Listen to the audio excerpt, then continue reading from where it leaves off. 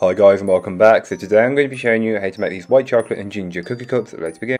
To get started on the recipe you'll want to make the cookie cup. So to make the dough, grab yourself a large mixing bowl and place in all of your butter, followed by the light brown sugar and granulated white sugar and beat them all together until they are lighter and fluffier in colour and consistency. This takes around 5 to 7 minutes depending on the softness of your butter. You can then go ahead and give the bowl a good scraping down. This is just to incorporate any bits that may not have been fully worked in from earlier on.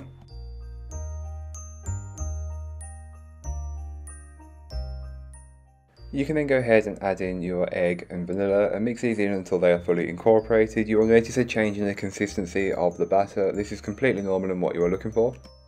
Go ahead and give the bowl another good scraping down just to incorporate any bits that may not have been fully worked in from earlier on.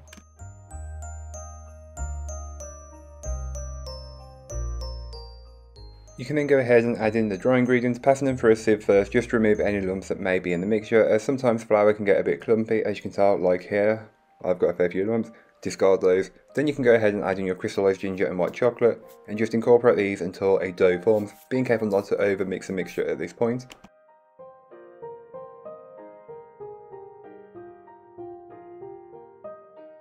You can then go ahead and weigh up your cookie dough. You'll want to make it equal amounts, so take your dough weight and divide it by 6. As this isn't more than enough dough to make 6 quite large cookie cups, just take your ball of dough and then flatten it into more of a a patty shape, then press it into your cupcake tin. Just to fit that, that's the perfect size for these this sort of recipe. To start on the edible cookie dough, you can go ahead and grab a baking tray which has been lined with some parchment paper and pour on your flour, spreading it out, and then you'll want to place it into your preheated oven and bake it off for around 5 to 10 minutes.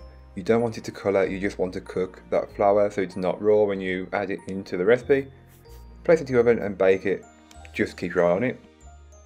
To get started on the cookie dough, you'll want to go ahead and grab a mixing bowl and place in your butter, your granulated white sugar and your light brown sugar and beat them all together until they are fully combined. You're not necessarily looking for light and fluffy, just very well combined.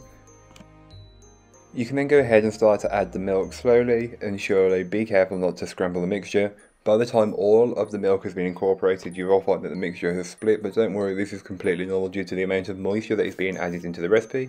Go ahead and chuck in your icing sugar and mix that in until it's fully incorporated. You will notice it does alleviate some of that kind of curdledness. Then you can go ahead and add in your fillings of choice, which I'm using the crystallized ginger and white chocolate. You can then go ahead and add in all of the flour and mix everything in until it's fully combined, being careful not to overmix. Then take two scoops of the dough for each ball that will go on top, flatten them together, bring them together, roll them out. I use the, the actual a larger cookie scoop to round it off and you get the perfect sphere shape. So to make the filling you'll want to make the creme pat which is really easy. Into a saucepan place all of your milk and then place that on the hob over a medium low heat. Then into another bowl you'll want to place your egg yolks and your sugar and whisk them together until they are lighter and fluffier. You will notice that the mixture goes from quite an orangey colour to a much paler yellow colour. Don't forget to add in your dry ingredients and then just whisk them in until they are fully incorporated. You will notice that the mixture thickens up and changes colour. That's completely normal and what you're looking for. Once your milk has come up to a boil, you can then add in a small amount of roughly about a quarter or a third and mix that in to the egg mixture. This will just help to temper it so when you add the rest it doesn't scramble. As if it scrambles, just throw it away and restart.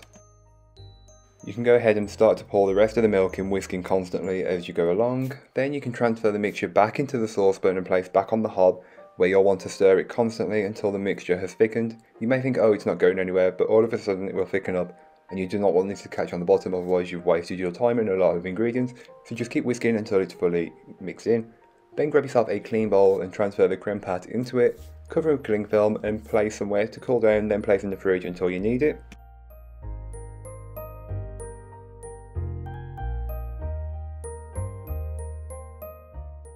So once you're ready to use the creme pat, you can remove the cling film that's been placed on top. This just stops the skin from forming. Then you can whisk the creme pat and bring it back into much more of a pipeable consistency. That's what you're looking for. Just, so just give it a quick whisk just to bring it back up.